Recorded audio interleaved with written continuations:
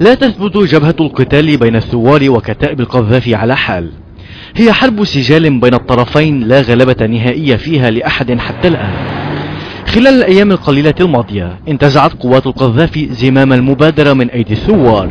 فاندفعت كتائب الأمنية شرقا محاولة إرساء واقع ميداني يسبق أي قرار دولي محتمل بفرض حظر جوي على ليبيا. والبريقة كمدينة نفطية مستهدفة من قبل المخربين. طهرت.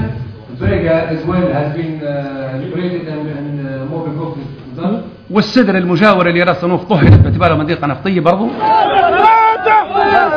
لكن لم تكد تمضي ساعات قليلة على إعلان وزارة الدفاع الليبية عن سيطرتها على مدينتي العقيلة والبريقة حتى عاكست رياح الميدان إرادة القذافي وكتائبه. الثوار وقوات الجيش الوطني تمكنوا من استعادة السيطرة على المدينتين. بعد تنفيذهم عملية التفاف على كتائب القذافي مما أدى إلى سقوط قتلى وجرحى وأسرى من عناصر الكتيبة الموالية للعقيد.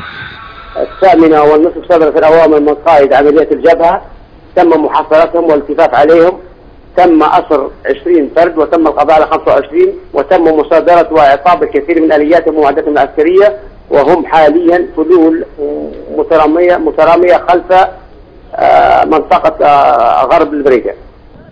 معركة أدت إلى وقف الاندفاعات السريعة لكتائب القذافي ويأمل الثوار أن تكون نقطة تحول في سير المواجهات التي يخوضونها شرقا. فمدينة البريقة تشكل بالنسبة للثوار خط دفاع متقدم عن مدينة بنغازي ولا يفصلها عنها سوى بلدة أجدابيا وأي تقدم لكتائب القذافي إلى أجدابيا يعني فتح الطريق أمامها باتجاه بنغازي وطبرق. لهذه الأسباب بدأ الثوار هجومهم المضاد في محاولة لانتزاع زمام المبادرة كما عمدوا أيضا إلى إقامة تحصينات في بلدة أجدابيا تحسبا لاحتمال تعرض المدينة للهجوم من قبل كتائب القذافي التي سعت خلال الأيام الماضية إلى الاستفادة من الطبيعة الصحراوية المنبسطة لوسط وشرق ليبيا للدفع بآلياتها نحو المدن التي يسيطر عليها الثوار. كما استفادت هذه القوات من سيادتها الجوية ووطأة دباباتها ضد الثوار وأسلحتهم الخفيفة.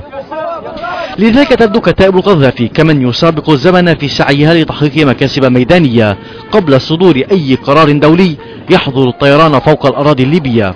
فهذه القوات تدرك جيدا أن حرمانها من سلاح الطيران سيفقدها عنصرا حاسما في المعركة.